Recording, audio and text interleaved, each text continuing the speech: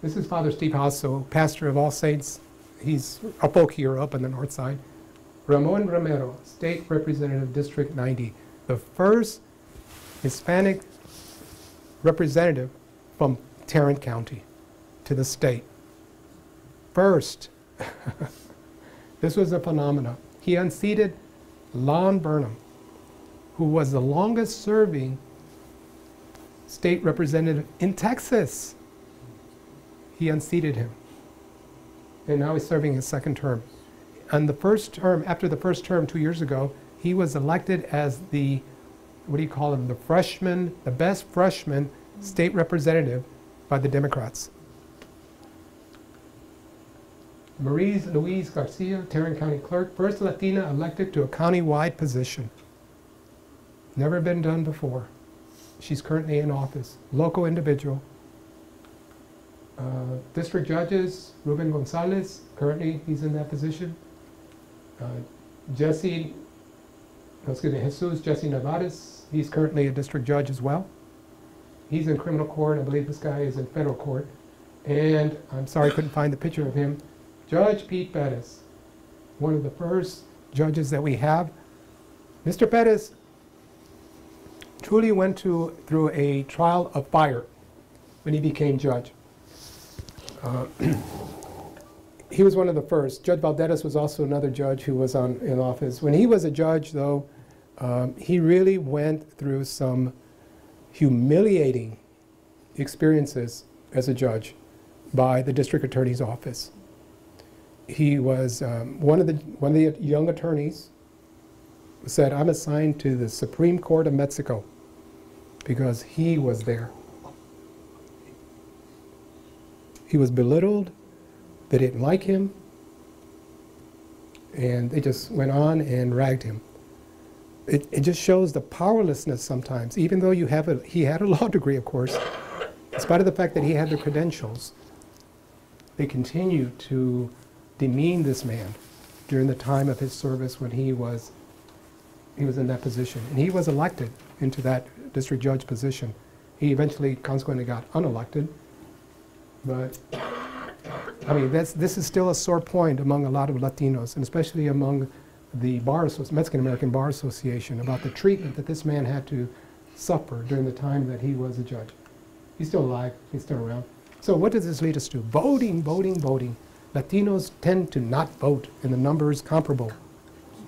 Uh, we just need to, to get our act together. I've been standing here and I've been sitting in your way. I apologize. Can you see? Throughout this whole thing. so you see this T-shirt here? You see, and you may probably not see it, Cesar Chavez. Voting is very important. These are activists. Uh, Jody Perry, this is Delsa Perez, one of the persons who contributed to this, and other activists who have really promoted to vote, vote, vote. We really stress that. In spite of our stressing it, we still have a problem in getting our folks to the voting booths to, to get them to vote in their numbers. Um, this is a march, and I'll go over that in a bit, but this is Main Street, and we're marching in protest of some immigration laws that were being proposed back in 2006. You notice the whiteness of the crowd? The message that went out is there will be no other flag than the United States flag carried in this march, except for the Lone Star. I think the Lone Star is out there. And we will all wear white. And third, we will not say a word it'll be a silent march. And so you had 20,000 people walking down Main Street, quiet, walking, walking, walking, until, of course, we got to the main square. But we are not a criminal. Even the nuns came out. and then we rallied here, said the Pledge of Allegiance, and basically espoused that we need to be part of this country and we need to get rid of discriminatory immigration laws.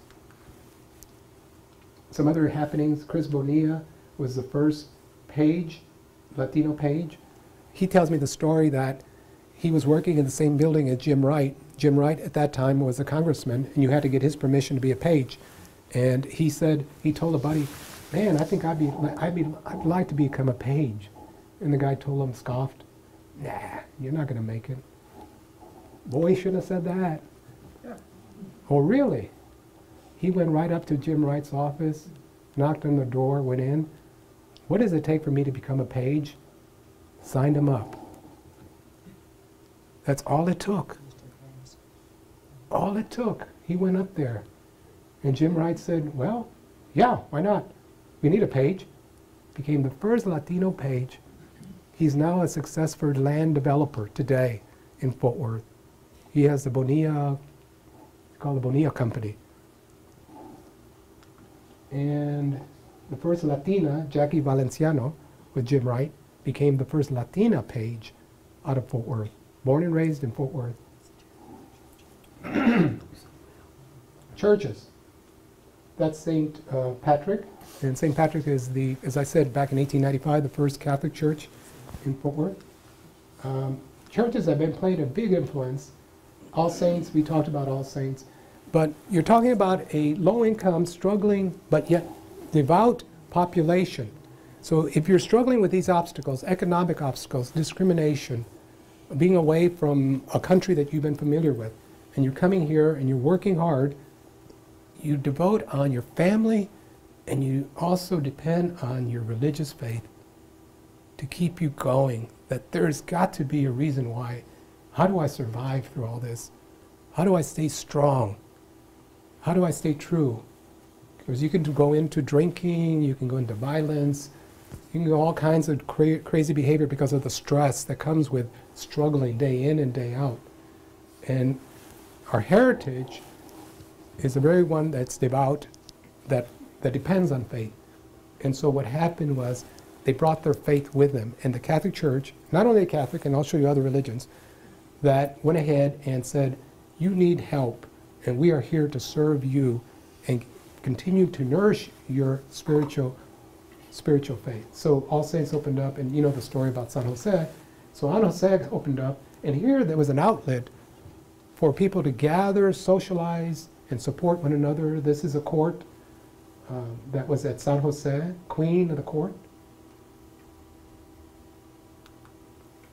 And here's another mutual, it's called a Sociedad Mutualista, social mutual society, mutual aid society. One of their primary functions was to collect dues.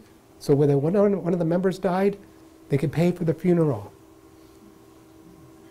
So they would have a decent burial. That's how they gathered their money, one of the reasons they gathered, but also to help people who needed assistance. San Jose School, they eventually knocked down that wooden structure and built a building, and then the nuns came in, and as well as the priests, there's three nuns here, to provide education, Catholic private school education to these children. And here's a graduation kindergarten. Uh, there was a mission, Our Lady Guadalupe mission in 1848. What happened was, after World War II, there was a real, in the growth of the population, they decided to break that invisible barrier down, break that wall, break that wall down, and they crossed it and moved over into the west side of Main Street, all the way up to what they call La Loma, which is far north side, into Diamond Hill. So once the population started moving there, the Catholic faith followed them and opened a mission. This is the bishop of Dallas. This was one diocese. Dallas and Fort Worth were together. So they opened up that mission. They eventually got ahead and opened a full-fledged church called Our Lady of Guadalupe in 1956. Now, this is on the north side. The Lady of Guadalupe is a very spiritual and important um, belief in, in, in the Immaculate Heart of Mary, in Mary. Uh, these are Knights of Columbus. If you're Catholic, you know what these people are. They're honorary guards. and um, here's the recreation of the Indian Juan Diego, the, the bishop, Bishop Montefiore, because the story is that Mary appeared to this Indian boy. This happened, by the way, remember we talked about the conquest of, of Mexico? This happened like 30 years after the conquest the Franciscans were wanting to convert all the Indians to Catholicism. They were having a difficult time. And what happened was this miracle happened. Mary came and she was what they call her morena. Morena means she was dark. She wasn't white. She looked like an Indian. She appeared to him in December to this young boy. And he said, he ran and told the, the bishop, I saw a vision. I saw Mary. He says, You need more proof. And so he went back and he said, uh, The bishop doesn't believe me. He says, I'll give you this cloak. And this was in December. Take the cloak to the bishop. But tell the bishop, I want a church here built. The boy went back, here's the cloak. And when he opened the cloak up, it was roses fell out of that cloak. In December, roses don't grow in Mexico City. So the bishop says it's a sign, it is true. So they built a bishop, uh, built a church. If you've ever been to Mexico City, it's called the Basilica de Guadalupe. And they still have that image of the tilma, which is the what the Aztecs used to wear. This garment here, they still have the image there in the church. So you can you can watch it, but they have a conveyor belt because they don't want you standing there. So you get on this conveyor belt, and you're looking at it like that. You can get back on the conveyor belt, but they don't want you hogging it. So you're looking at it like anyway. So anyway, uh, Lady Guadalupe, they have Jamaicas. Jamaicas is a word for a festival. And this is from our Lady of Guadalupe. You can see back in 1970, they're promoting come out to Lady Guadalupe Church. Ah, this is what I really like. This is St. Patrick, right? They're coming out. And look at this gentleman here. Look at this gentleman here. You can see they're distinctly dressed, right? This is truly Spanish. The guitar, the charro outfit, this is Mexican Indian. They call them matachines. And so what in Mexico what happened is the Indians weren't that quick to give up their religion. All right, so they blended the two. Remember, the Indian appear, uh, the Virgin Mary appeared to an Indian boy. Well, that got the Aztecs, who were defeated, to be converted. But you got my heart and got my soul, but I didn't get rid of all my customs. And I did not become a Spaniard. I still held on to my Indian ways my Indian dress. I will worship Mary, I will worship Jesus and God and the Gospels and the Apostles, but I want to do it my way. And my way means that I hold on to my Indian customs to the point that when we have a procession, this happened at the Coliseum, that I'm going to wear my little uh, bow and arrow, I'm going to carry Mary, but I'm going to come in dressed and this is an image of the Virgin Mary as she appears, supposedly. Now, think back again. You see how faith is so strong with Latinos and how it's so important to sustain them. And it continues today. San Mateo is a mission church. It was opened up in 1941. St. Patrick Cathedral, you know where St. Patrick is, downtown? This is located in a place called TP. TP meaning Texas and Pacific. And there were people who lived there in order to go work on the Texas Pacific line. So the neighborhood was formed such that just like Our Lady of just like Our Lady Guadalupe Church, just like San Jose, St. Patrick decided to open up a mission church on San Mateo in 1941. It was it didn't look this way when it started, but later as years went on, they started adding and adding, putting money into it. They built it until the current bishop, Bishop Olson, said, That's it. We need to close it. Because that's only a mission church. Mission. We're on a mission. The mission's over. All the people that go to that church can now come to St. Patrick. The reason they built this originally is that people in TP had to walk three miles to gate to St. Patrick on Sundays. Rain or shine, rain or shine, you walk three miles and then walk three miles back. They said, nah, let's build a church. There's a, obviously a congregation there. So the bishop said, now uh, there's not enough people in, in TP any longer to sustain the church. Well, what, what happened was the people there, even though they were grown and moved away, there were still people who were living there and their families, they were baptized there, they were confirmed there, they were married there. They still had very strong emotional ties to that church to the point that they were sustaining the church They were contributing money to that church, even though they may not have been going there every Sunday, nor going church there every Sunday. So what happened is, right now you have a current controversy in the bishop saying, this church is closed. And it is. They put a lock on this church. The last Mass was in November. They, it's shut down. So what happened is, well, this is uh, an example of one their fundraising that they had there. As you can see, there was a, quite a number of people that were supporting that. So what happened is, once they were locked out, people started coming back and saying, we're not putting up with this, to the point where they have already contacted an attorney who is familiar with canon law, canon law being the church, the church law. And the church is now being sued by some of the congregation members to open that church back up.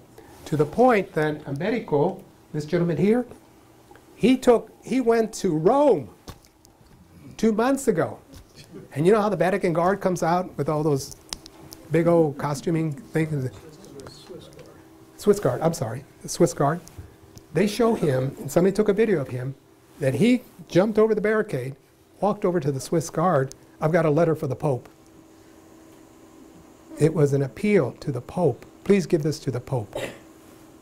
And the guard went like this. and they said, but you need to get back. And he went back.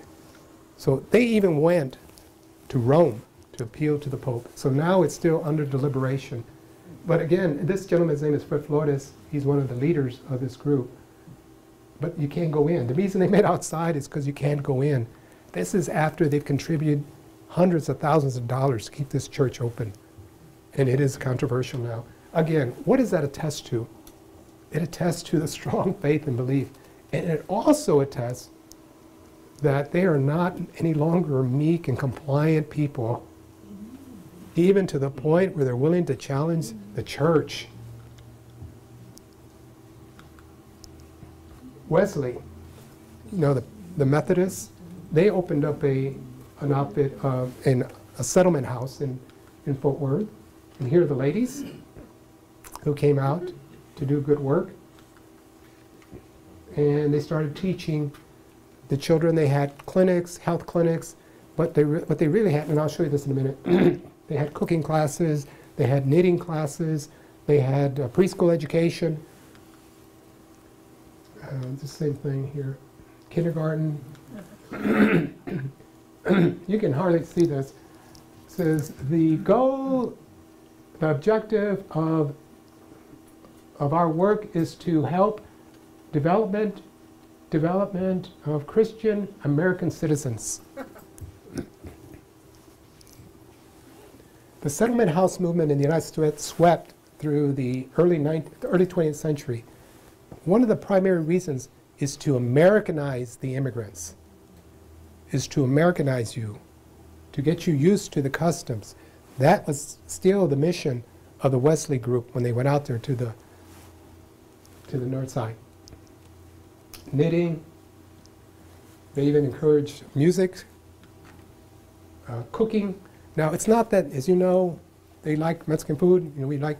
That was not the reason why they gave them cooking classes. The reason they gave them cooking classes is that there was malnutrition going on in the community because they weren't buying, they didn't have access to the good diets. So what they wanted to show them is how to make do with what you have and to provide nutritious meal for your children so they don't become malnourished, so they don't get depleted on vitamins. um, uh, this is Mary Lou Lopez, who used to work for the Wesley Foundation. The only reason I put this up here, not only because she's an outstanding woman, she basically says the Wesley Foundation helped me. This was an activity place that I came and learned. Uh, but my husband doesn't want me to work. Uh, he, he just, even though I'm smart, but he says, no, you stayed home. Well, she really didn't stay at home. She volunteered. And she became a mover and groover and activist in the Latino community. But this is what bothers me. Pasco girl shot in head leaving convenience store. That was a Latina who was killed by other Latinos. This one here, you can hardly see it, but there was a shooting and a killing of a Latino at a dance after in the, in the parking lot. So the newspaper elected to wrap this very good story about this woman who's working in the community, a Latina, who's doing good work. You can see the Aztec symbol here with this story about what happens, that there's violence still in the community. You see the, the dichotomy, the good and the bad that sometimes happens in these communities? That's what the newspaper tried to show, I think, in this, in this instance. Uh, another is a Presbyterian in La Corte. Uh, this gentleman, Pastor Guillermo Walls, he was born in Mexico, but I don't, I don't remember how he got the main Walls. But the Corte was done in 1935. Um, he was there, this picture was taken in 1935, but he presided there in 1925 to 1949. He did good works. Uh, I'm going to skip this. I was going to brag about this. I started this organization, but we don't need to talk about it. this gentleman is very distinguished, as well as this one. This is Gilbert Garcia, local guy who formed this organization, uh, American GI. No, this gentleman started, he is a surgeon uh, who went to serve in World War II. Uh, this is interesting. He was a surgeon, graduated from medical school, and they sent him to the infantry he served in the African, in Africa, North Africa. He fought. He was a, a lieutenant. They gave him an officer position, and he fought against the African Corps in North, in North Africa. And I guess they figured out, wait a minute, why are we sending a surgeon into the infantry? So they switched, switched him later into, um, into the medical corps. So he ended up serving in Italy treating the, the people that were killed, uh, the soldiers that were killed. But after he came back, this is a common experience, after you've, after you've taken them off to the farm and they've seen gay Paris, they're not going back. So a lot of the young Latinos who went to serve in World War II came back and said, we know what dictatorship is. We've seen it. We've fought against it. We fought against Hitler. We fought against the Japanese. We know what that's all about. Why in the world are we going to settle for that here in the United States? Why in the world would we, after risking our lives, and some of us losing our lives, resort to living in a second-class citizenship status? And they said, no way. So they formed the American GI Forum. And notice the word American. They wanted to be sure that anybody sees them, that they knew that they were patriotic. So this is um, Jim Wrights there. Um, this guy was a local representative. Felix Longoria I'm not going to go into deep measure. This is gentleman uh, was one of the heroes. He got killed in Japan, but they wouldn't allow his family to have a wake at the Kennedy Funeral Home in Three Rivers, Texas. So the wife contacted, uh, uh, excuse me, um, Hector Garcia.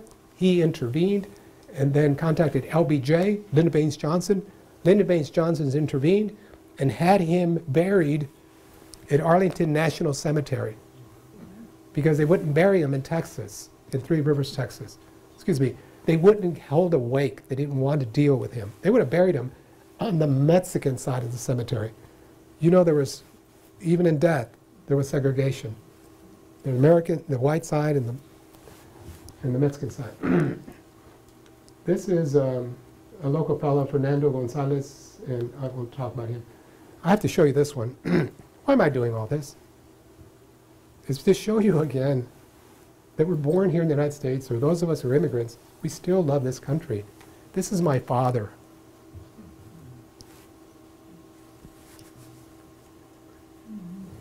He served in Germany in 1945.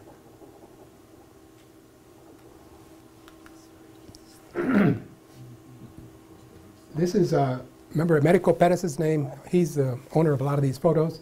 This is his son. He was in Afghanistan at Fort Leatherneck. One of the interesting things, though, you see this, uh, these CDs on top of this machine gun? Remember that, that Nicho signs and Leo signs? This is their CD. He took Fort Worth with him. so while he was fighting the, the Taliban, shooting him, he was listening to the CD, reminding him of Fort Worth. In fact, he was from the TP area, reminding him of TP while he was fighting. I mean, that's a common experience that GIs do, right? They want to remember their home. while they're in the midst of hell. And that's the same with him.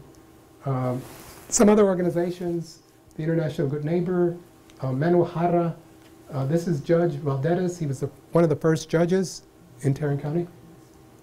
Uh, other organizations, Ballet Folklorico, uh, that's still in existence, and this is just demonstration of who they are. LULAC, League of United Latin American Citizens, uh, Hispanic Debutante Association. This is an organization that wanted to promote Latinas going into college, so they raised scholarships. The debutante is like what it sounds like, they're coming out. And so they had a court, and they would raise money, encourage young ladies to not settle for staying at home or having babies and all that other stuff, but really go on and be live to your potential. Um, this is an interesting group, Hispanic Women's Network. Uh, the co-founder of the Hispanic Women's Network is in our presence, Ms. Rita Utt.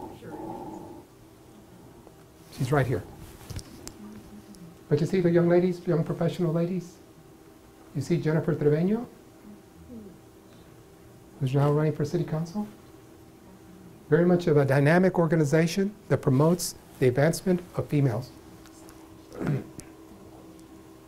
Uh, just go through it because I know we're short in time and I've spoken quite a bit. Or have I already gone over? Have I gone over? Okay, I appreciate it. Uh, I want to end it, but I want to open it up for any final questions. Oh, one, I'm sorry. No, I do not. I want to do one more. Rita Utt. Miss Utt is in our presence. Now, the reason I show her is I think if anyone exemplifies the Mexican experience in Fort Worth, it is Miss Utt. Mrs. Utt, excuse me. Mrs. Utt, she was recognized as one of the uh, Mujeres Poderosas, strong woman, by the Hispanic Women's Network. That's Rita. when she was six years old. I don't know if you see her cousin there, Bobby. He wants to get on the horse too. But they're in front of a store that was owned by her grandparents, Prisciliano and Dolores Rodriguez. They bought this building, and you'll see more of it. She was born, uh, raised in Worth Heights. Now, there's Prisciliano, and her, there's her other grandma, grandmother, Dolores. They owned this hotel restaurant in Hell's Half Acre in the 20s. See these guys here? They're Mexican workers. The Mexican workers couldn't find a place to eat or sleep. But they opened this restaurant and allowed them to come in and have a place. They were entrepreneurs. This is the store that they, uh, the building they bought. Uh, there was two stories. One side was like a kind of a, in those days, a 7-Eleven, and the other side was a pool hall, and they sold beer. And this is her father, Antonio, and this is Mike, her, her uncle. So they were entrepreneurs. This was in the Worth Heights area. This is them, Prisciliano and Dolores, and when they were a little bit older. They lived on the second floor. Here's Rita when she was married. Now, why do I bring Rita here? Rita was one of these young ladies that was told she was not smart enough to do anything than become a secretary. That's the message she received throughout her education, that you are not smart enough. And besides, you don't have the money. She did not get the counseling. So she was channeled into less than professional. She ended up going to Trimble Tech, which is a good school, but channeled into a secretarial role. When she was in the eighth grade, a friend of hers got pregnant, who was in the eighth grade, and had twins and got married. That scared the bejeebus out of Rita. she said, no way, no way, no way. So she was determined. Rita was smart, she liked school, she liked reading, and she was determined that she was going to have a better life. So she went on to nursing school, first to be an LVN, then subsequently she got an RN. She got married to this gentleman, Micah, who happened to be an, a serviceman stationed in Carswell. That's where they met. Well, they got married. Uh, to, uh, despite her father's displeasure that she was marrying an Anglo, he didn't like Anglos, but Rita, you know, true love. So they fell in love and they stayed together. She went to Houston to be with him. In Houston, she decided she was going to go to law school. She had just had her child. And he was str- struggling for work in Houston. But she was determined to stick it through and do it. Make a long story short, Rita persevered. It was hard. There were 400, um, there were 400 uh, students, I believe, and 40 of those were Latino. Half of them graduated. Half of the 40 graduated. She gradu- She was one of the one of the few Latinas in that school, law school. Graduated, struggled, faced a lot of hardships, and in spite of the fact that she didn't have the most excellent educational background, was still able to overcome and persevere and double down and get that degree. There's happily married. Here's Rita, attorney at law. She opened up her private practice. First, she worked for the DAs, which was quite an experience, similar to the judge Bettis experience. She had the same experience. She was Latina. She was a woman. She was Latina. Two strikes against her in a, in a law office that was predominantly white male. But she persevered and survived, went on to open up her own private practice, and became a successful attorney. Rita Utt was truly a mujer poderosa, a powerful woman. Thank you, Rita, for your example.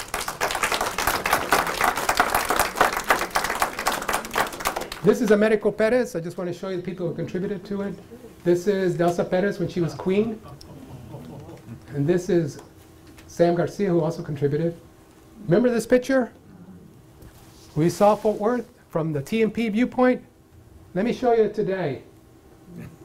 This is the reality, looking from the courthouse back to TMP. That is the future, ladies and gentlemen. Thank you very much.